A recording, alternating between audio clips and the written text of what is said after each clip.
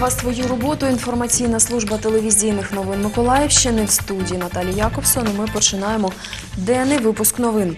Прем'єр-міністр України Володимир Гройсман провів нараду щодо підготовки проєктів актів, спрямованих на реформування в галузі охорони здоров'я за участі представників уряду, народних депутатів України, асоціації місцевого самоврядування, також представників обласних та міських відділів охорони здоров'я.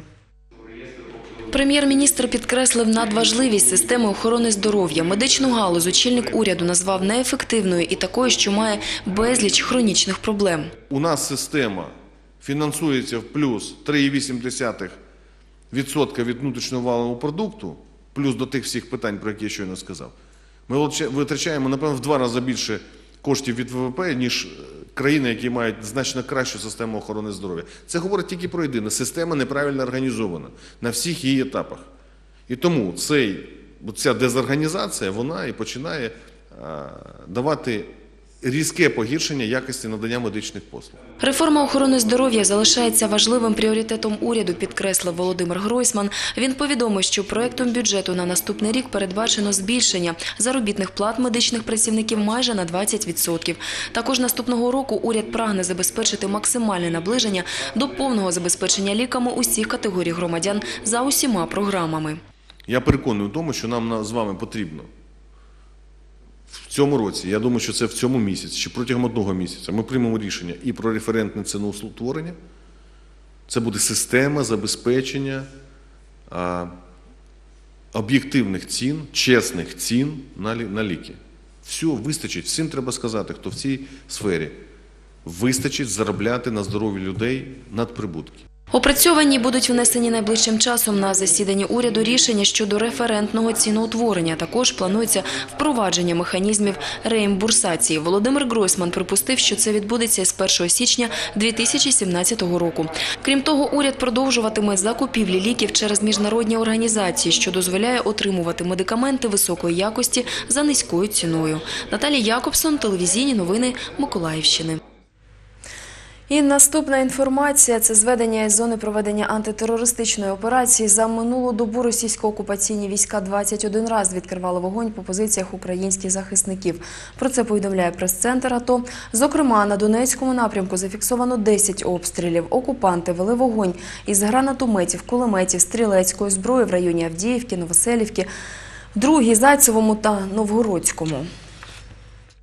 Окрім того, по Авдіївці та Новоселівці 2 окупанти відкривали вогонь з міномету калібром 82 мм. На Маріупольському напрямку зафіксовано 7 порушень режиму тиші.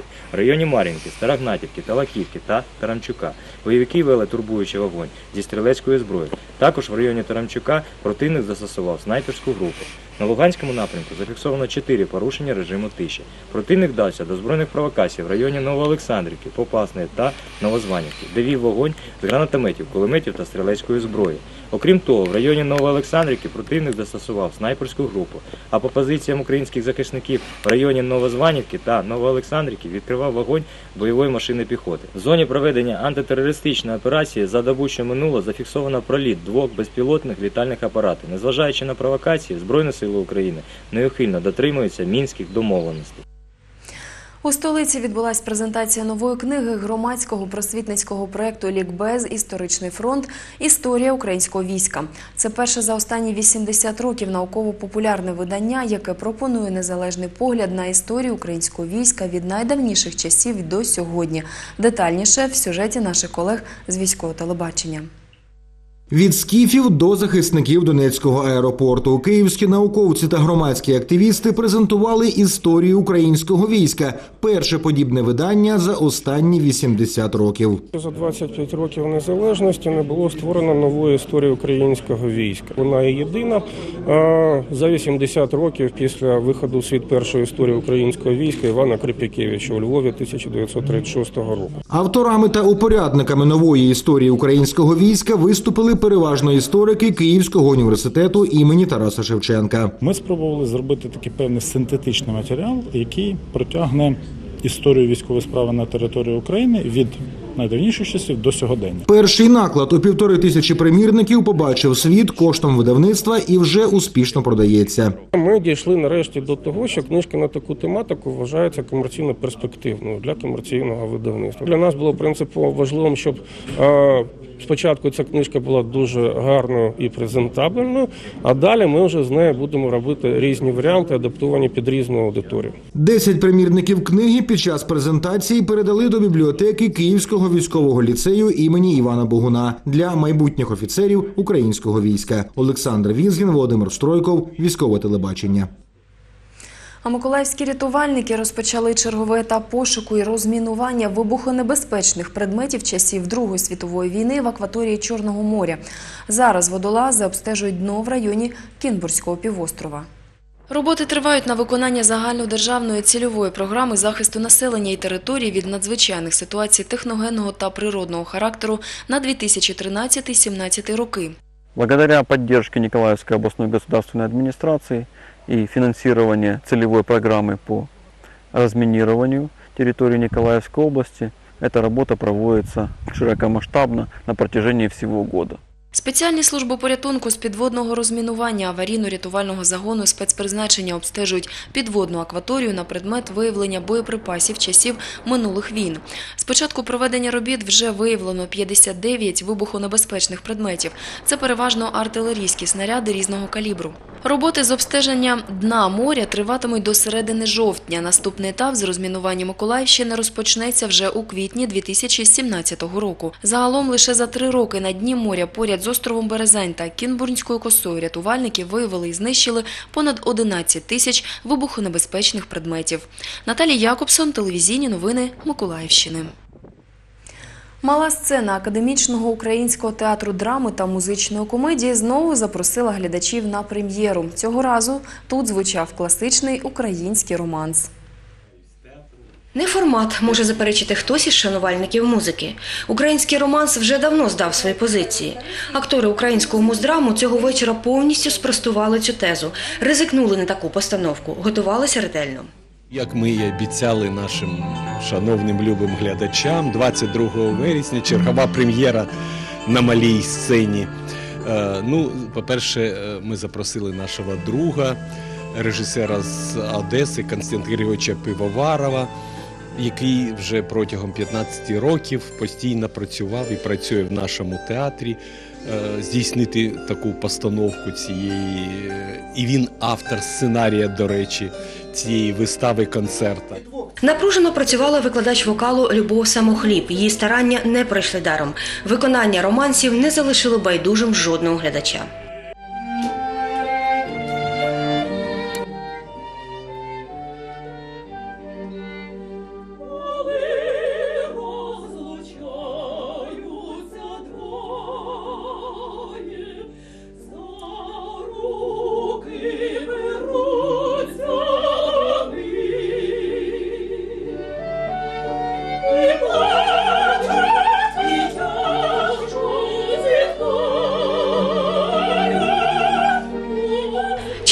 Голос Ірини Бубенко просто заворожив глядачів, а садок вишневий коло хати у виконанні Яни Артеменко додав романтичного настрою. Гідно поряд з метрами виступив і новачок Юрій Тихонов. Але крім репертуару і виконання, у вистави є ще одна родзинка. Так е, створювалась програма, що ведучі розповідають нашим глядачам про авторів цих романів. Деякі романи взагалі вважаються народними. Насамперед в них є автори, і це теж буде цікаво нашому глядачу. Розповідь пісня. Така побудова вистави дійсно схожа на квітку, пелюстками якої є пісні. І того вечора на малій сцені академічного українського театру глядачі отримали справді пісенний букет. Олена Міщенко, Артем Білібов, телевізійні новини Миколаївщини. А у Вітовському районі відбулося урочисте нагородження переможців районного літературно-поетичного конкурсу Струни української душі. Хто брав участь в ньому та кого нагороджували, бачили наші кореспонденти.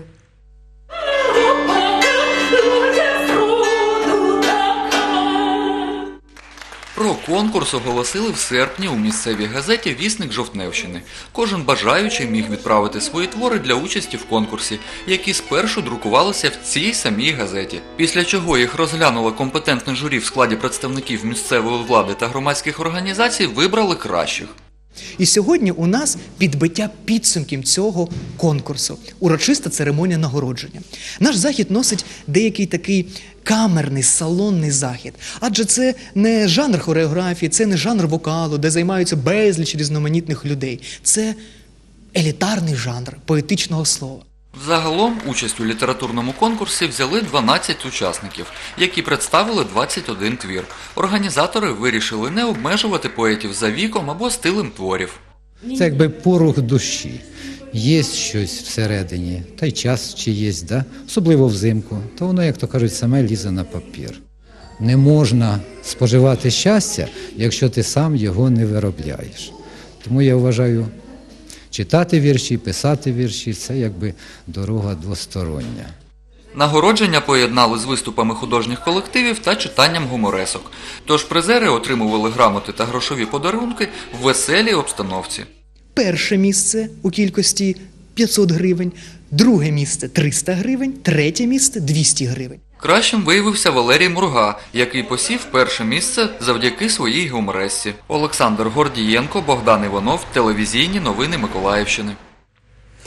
А у Миколаївському національному університеті імені Василя Сухомлинського відбулась презентація збірки поезії Невідома. Це перша книга молодого автора Сергія Коломійця. До збірки увійшли 43 вірші інтимної лірики у чотирьох концептуальних розділах. Невідома це уявна та водночас реальна людина. Це спроєктований образ, образ власне тієї людини, яку людина, яку автор в принципі шукає протягом життя ради того, щоб просто бути щасливим. Пошуки завершені, невідомо має свій матеріальний вияв.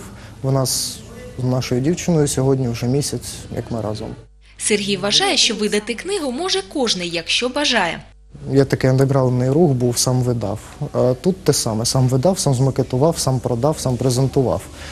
Допомога була від Гузенко Світлани Валентинівни. Наразі це декан філологічного факультету. Вона е, допомагала власне з макетуванням, якимись порадами і так далі. На презентацію прийшли викладачі, студенти різних факультетів, а також друзі та одногрупники, які надихали та допомагали Сергію. Сережа случайно увидел мои работы и сказал, вот знаешь, я хочу выпустить э, свою книгу, и твои, кар- ну, твои работы очень подходят. И вот так вот мы подружились на этой почве и, в принципе, сотрудничаем и до сих пор. Действительно, у него талант есть, стихи действительно цепляют за душу. И, эм, как бы сказать, в них есть что-то такое, чего нет вот у других поэтов, даже которых современных и которые были более ранее. А для факультету філології це не перший подібний захід. У нас очень талантливые студенты, они очень активно заявляют о себе как пишущие люди и очень успешно это делают, потому что вот издание книги это не самый плохой вариант. Кроме того, у нас много студентов, студентов, которые публикуются в вот в Соборной улице недавно была публикация наших студентов. За то, что я знаю. То есть как бы филфак подтверждает свой статус. На презентації читали вірші зі збірки під музичний акомпанемент, а також очікували появи тієї самої невідомої дівчини на ім'я Аліна. Але інтрига залишилась інтригою. Вона тільки у рядках вірша. Так дивно, що у сердечних глибинах я закоханий на у людину, а в образ її прототипу котрого ніколи не бачив. Як дивно буде захопленим той, хто серце зриває посеред ночі. На жаль, порожнина не вб'є порожнини. Засинає туман, разом з ним, десь там, сотня хмиль за вікном, ніжно падає в сон, моя невідома. І це всі новини, які ми встигаємо повідомити вам на даний час. Наша інформаційна служба продовжує свою роботу о 19-й. Розповім набагато більше, тож лишайтеся в нашій компанії. Вдалого продовження цього дня. До зустрічі.